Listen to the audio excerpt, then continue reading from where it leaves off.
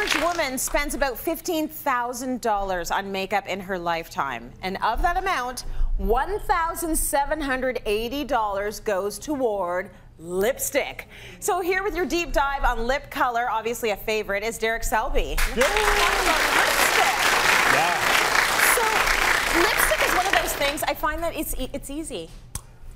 That's exactly the easy. reason it's easy. It's the easiest cosmetic, and it's also usually the first cosmetic. Right. So if you think of little girls or little boys, um, their stories. start with the um, lips. Yeah, that's where you usually start with something on the lips. So Yeah. here's some interesting information. I have some trivia, and I have some cool top sellers, which is, I just think is fascinating. Yes. So in the U.S., Revlon Super Lustrous Lipstick, they sell one every four minutes in the U.S. Wow. I know. That is a powerful lipstick. And it shows you the power of cosmetics, right? That's and, and right. the consumer.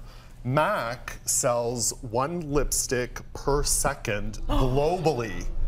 One lipstick per As we're talking, they just sold a whole bunch of lipsticks. Oh my gosh. Isn't that crazy? Yeah, And cha-ching. this shade right here, this red, which is a beautiful red called Ruby Woo. Mm, I know it They well. sell, it's one of their best sellers. Yeah. They sell one of those, four, sorry, four of those every minute globally. Amazing. Yeah. That's incredible. So that that's when you know you've got a good red. That's right. You know, if everybody's buying them, yeah, that's and it's interesting where things are around the world as well. I think that's interesting. Absolutely. During the war, Mm-hmm. going way back, pre my time, pre your time, yes. cosmetics were rationed Yeah. during World War II. But Winston kind of a luxury, yeah, right? and- but Winston Churchill felt that lipstick improved morale. Oh. And so lipstick was kind of encouraged. And a, a known fact in the cosmetic industry is that during a recession, lipsticks actually sales go up. I'm, uh, you know what that makes sense because what you're trying to do is luxury. It's an affordable luxury and you're trying to take control over what you can control. That's exactly. You can control your lip color. That's right. You know, I've always said I'll always have my own um, bank account because I never want someone to be able to say to me, "Don't spend lipstick you can eighteen buy?" dollars on a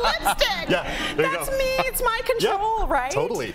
Now, after the war, this I Mm-hmm. thought was fascinating was Revlon. This is Revlon's Fire and Ice. This Yeah. was launched in 1952, but the campaign was encouraging women to wear lipstick for Yeah. themselves. Oh, nice. Because prior to that, all of the advertising was about men. Right. So I love that. I think that's very Who cares about interesting. And look at look at women today. It's like wear it for you. Who cares Wear it about for them? you. Wear it for you. Absolutely. That's interesting.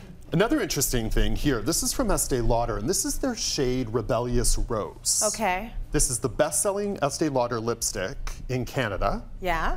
in North America, Ooh. in the UK, Oh. around the world. Okay. So popular because it looks great on deeper complexions like yours Yeah. or on really fair complexions as well. Okay. And it's done so well for them that they've actually introduced a liquid matte version and there's actually a lip gloss as well. That's cool. So yeah, it is kind of cool, right? So And that is what they should do. Like give Yeah. people the whole family That's right. if they love that color. Yeah. They can wear it a million different ways. Now, when you look, this is what surprised me when I was doing the research on this segment. So Mm-hmm. these are MAC's top five lipstick shades. Okay. This is their top shade, which is like a deep chili. see it? Yeah, please. And notice how it's very powdery. Yeah, it and is. it's It's very, very matte. So it's devoted to chili is the Devoted to chili.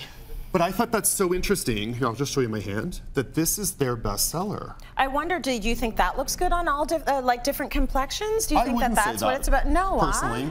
No, I wouldn't. I would have thought why. it would have been something more like this shade, which is called Velvet Teddy. I just find that with nudes, though, they really are dependent on the, your Skin um, tone. your skin tone, but, Yeah. but your lip color. Absolutely. Right. So some Yeah. of us have really dark, deep black, dark brown That's lips. right. Some of us have light pink lips. That's right. And your nude is so influenced by that. So that would be a toughie. And so this is kind of fun here from Revlon. Uh-huh. This shade, which is called Plum Baby, this plum, Yeah. is the best-selling lipstick shade in the Maritimes for Revlon. oh, in the Maritimes. In the Maritimes. That's interesting. So Atlantic Canada. Yeah. The shade here called Bare Affair, which is a really great nude, that's the best-selling shade in Quebec. okay. Okay. All right. I know. Ooh, Those ah. sophisticated ladies I know. with their nude lips. This shade that's called Soft Silver Rose Mm-hmm. is the best-selling shade in Ontario and Western Canada, and it's their best-selling shade nationally. That's a shocker to me. So I thought a red would be bigger in Ontario. So you know I don't what- know why I feel like Ontario's red. Yeah, well, what I think's fascinating is This is Mac's bestseller. This is Revlon's bestseller. Mm-hmm. Keep and this up. is Estee Lauder's bestseller. Oh, Look how very different. interesting. They're all very different. Yeah, and the key thing is wear lipstick for you with a shade that you love. That's right. Right? It all That's has to be about what you, yeah, Yeah, and that's sure. why it's an affordable luxury. You That's wear right. it for you. Yeah.